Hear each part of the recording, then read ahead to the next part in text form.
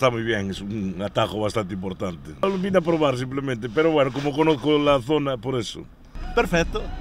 Bien, bien, bien. Esto es lo mejor que hay de Santiago.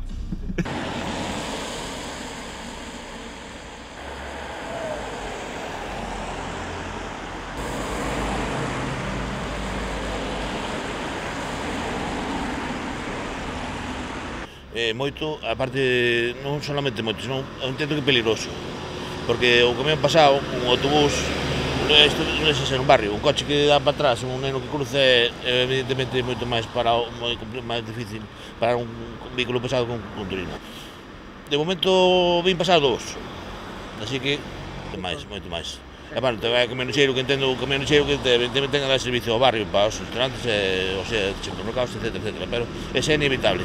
Facía bastante falta, e máis sobre todo polas tardes. Ahora pola mañán ainda non hai moito, pero pola tarde sempre hai bastante aglomeración aí de, de coches. Sí, ainda non se notou moito, ainda foi onte, hoxe pola mañán ainda de momento había bastante atasco tamén.